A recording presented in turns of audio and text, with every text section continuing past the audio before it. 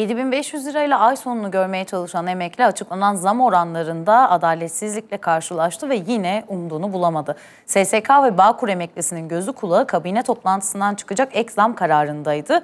En düşük emekli maaşının 10 bin lira olduğunu söyleyen Erdoğan, SSK ve Bağkur emekli maaşlarına ilave %5 artış dedi. Eşitsizliğin düzelmesi adına ise bir kez daha sabır demiş oldu ve Temmuz ayını işaret etti. Emekli maaşı alt sınırını 7500 liradan 10 bin liraya çıkarıyoruz. Cumhurbaşkanı 10 bin lirayı müjde gibi söylüyor. Peki şu anda nedir emekli maaşı?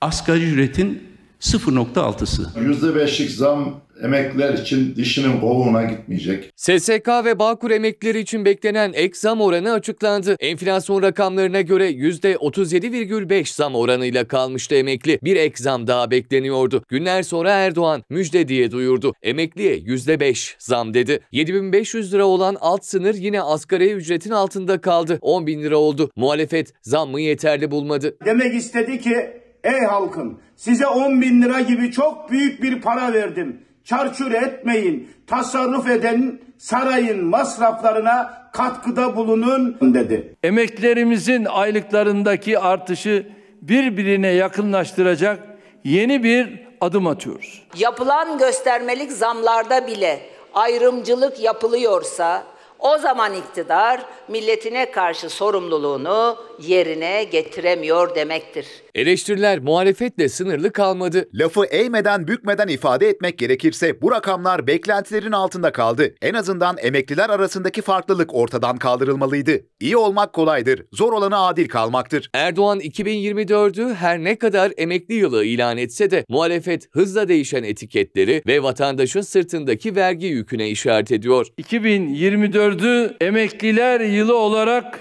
ilan ediyoruz. Allah muhafaza eylesin. 2024 yılı emekliler yılı denmişse emeklileri Allah muhafaza, Allah uzun ömür versin ama gömme yılı demektir. Zaten verilen %5'lik artış daha emeklinin cebine girmeden gelen zamlarla, vergilerle fazlasıyla geri alınmıştır. Emekliler umutla bekliyordu dedik ama Cumhurbaşkanı Erdoğan'ın %5'lik ek zam yapıldığını açıklamasının ardından umduğunu yine bulamadılar. Cebimde 100 lira param var, 100 lira başka param yok. Buna o yok gayrı. İlk zaman verdik ama yok. Yüzde beş daha artış yapacağımızın müjdesini vermek istiyorum. Aylardır emekli maaşlarına ha zam geldi ha gelecek derken Cumhurbaşkanı Erdoğan %5'lik zammı duyurdu. En düşük emekli maaşı ise 7500 liradan 10 bin liraya çıktı ancak emekliler Ocak ayını 7500 lirayla geçirecek. İki tane tam buğday aldım. Zorunluyum. Karaciğerden problemim var. Şimdi hale bakacağız. İçeri girilmiyor fiyatlardan. Birlikte gidelim mi siz? Gidelim. Nuri Sandalcı 71 yaşında yaklaşık 5 milyon emekliden sadece biri. O da birçok emekli gibi bugün bankanın yolunu tuttu emekli maaşını çekmek için. Eşiyle birlikte yıllar önce satın aldığı evde yaşıyor. En azından kira derdim yok diyor.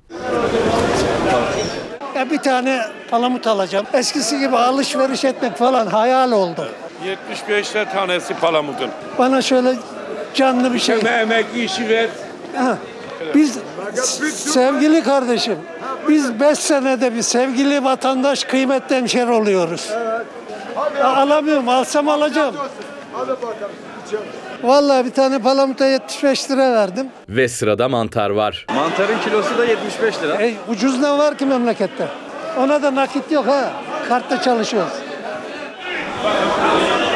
Ispanağın kilosu 25, kış aylarının şifa deposu mandalina ise 20 lira. Bir kilo bile gelmedi vallahi.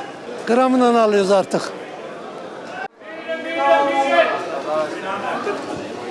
İki kilo aldım. Ne kadar tuttu? 40 lira. Mandalina. Mandalina 20 lira kilosu. Emekliye zam geldi gelmesine ama 71 yaşındaki Nuri Sandalcı bugün alışveriş için yola çıktı. Önce halk ekmekten 4 tane ekmek aldı. Ardından 2 kilo mandalina, 1 kilo mantar, bir tane de balık aldı ve toplam 215 lira para harcadı. Seçim bittikten sonra yüzüne bakan yok emeklinin. Emeklilere zulüm edin. Zulüm başka bir şey değil. Canlı bir şey. Sen emek işi ver. Ha,